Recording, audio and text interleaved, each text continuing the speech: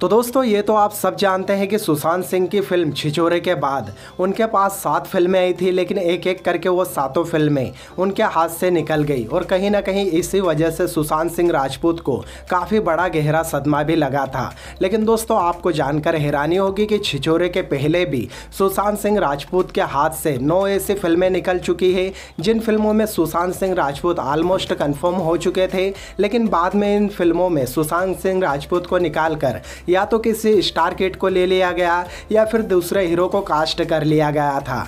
तो दोस्तों, आज के इस वीडियो में मैं आपको उन नौ फ़िल्मों की जानकारी देने वाला हूँ, जिन फ़िल्मों में हम सुशांत सिंह राजपूत को देखने वाले थे, लेकिन बदकिस्मती से इस फ़िल्मों में दूसरे हीरो हमें देखने को मिले।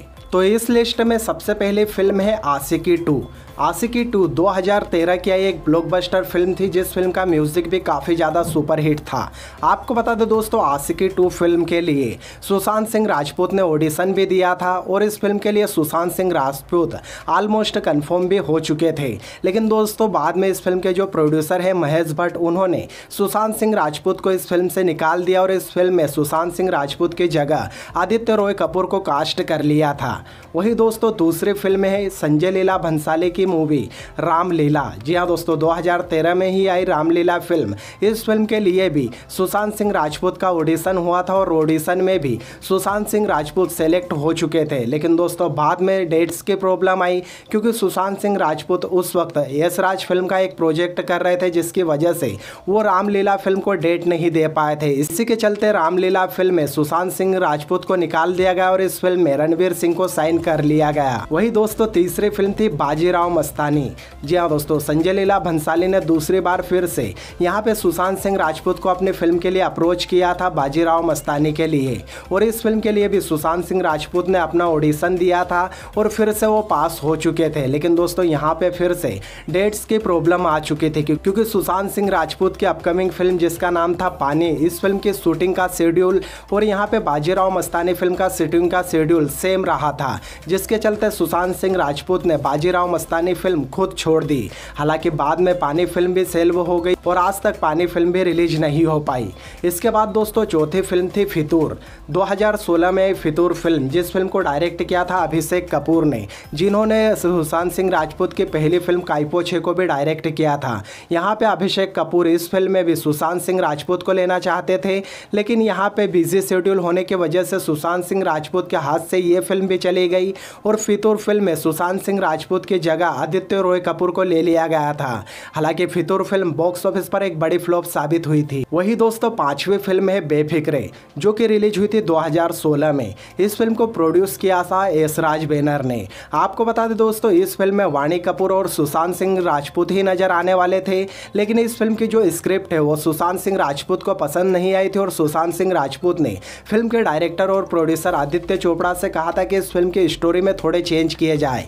लेकिन आदित्य चोपड़ा ने इस फ़िल्म की स्टोरी में चेंज करने की जगह सुशांत सिंह राजपूत को ही चेंज करके फ़िल्म में कास्ट कर लिया रणवीर सिंह को। हालाँकि सुशांत सिंह राजपूत की बात सही साबित हुई, बेफिक्रे फ़िल्म लोगों को पसंद नहीं आई और बेफिक्रे भी बॉक्स ऑफ़िस पर फ्लॉप हो गई। वही दोस्तों छठी फ़िल्म है हाफ़ गर्लफ्रेंड, जो कि रिलीज़ हुई थी 2017 में। दोस्तों, हाफ़ गर्लफ्रेंड के लिए भी सुशांत सिंह राजपूत ऑलमोस्ट कन्फर्म हो गए थे और इस फ़िल्म की शूटिंग भी वो बहुत ही जल्द चालू करने वाले थे। लेकिन दोस्तों, जिस टाइम पे हाफ़ गर्लफ्रेंड फ़िल्म की शूटिंग स्टार्ट होना थी, उसी समय पे यहाँ पे सुशांत सिंह राजपूत, दिनेश विजान के प्रोडक्शन की एक फ़िल्म कर रहे थे, जिसकी वजह से उनके हाथ से हाफ़ गर्लफ्रेंड फ़िल्म चली गई और इस फ़िल्म में अर्जुन कपूर को बाद में कास्ट कर लिया गया। वही दोस्तों, सातवीं फ़िल्म है 2019 में रिलीज़ हुई फ़िल्म रोमियो अकबर वाल्टर। आपको बता दूँ, इस फ़िल्म में जॉन अब्राहम के पहले सुशांत सिंह राजपूत को कास्ट किया जाना था, लेकिन इस फ़िल्म की डेट भी सुशांत सिंह राजपूत के शेड्यूल से मैच नहीं हुई, जिसके चलते इस फ़िल्म को सुशांत सिंह राजपूत ने खुद छोड़ दिया और इस फ़िल्म में बाद में जॉन इब्राहिम नज़र आए थे। वही दोस्तों, आठवीं फ़िल्म है सड़क टू, जो कि अभी तक रिलीज़ नहीं हो पाई। आपको बता दें, इस फ़िल्म के लिए भी मुकेश भट्ट ने सुशांत सिंह राजपूत को ही पहले कास्ट किया था, लेकिन बाद में सुशांत सिंह राजपूत राजपूत को बिना कोई वजह बताए इस फ़िल्म से बाहर निकाल दिया गया और सुशांत सिंह राजपूत की जगह इस फ़िल्म में फिर से आदित्य रॉय कपूर को साइन कर लिया गया। वही दोस्तों नौवीं और लास्ट फ़िल्म है सारे जहाँ से अच्छा।